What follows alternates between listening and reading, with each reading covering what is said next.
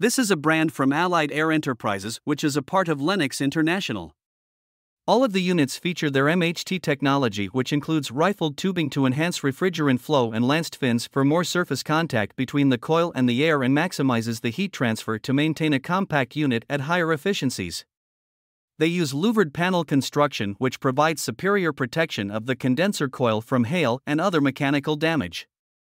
The units are only sold through authorized dealers in the USA and only have an average guarantee.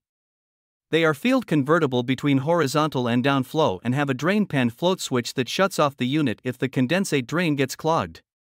This prevents damage to interior spaces from condensate dripping down from the roof.